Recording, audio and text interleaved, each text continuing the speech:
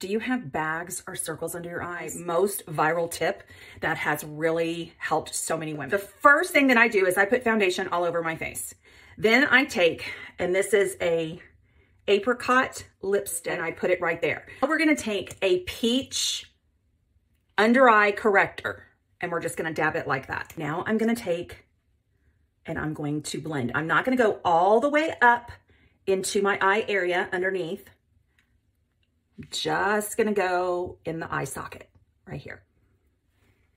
Still not going in with foundation, but now we're gonna use a flesh colored concealer and we're gonna go right in that dip right there. And we're gonna let that sit for about 30 seconds. So now we're gonna come along with this little spongy thing again and we're just gonna pat, okay?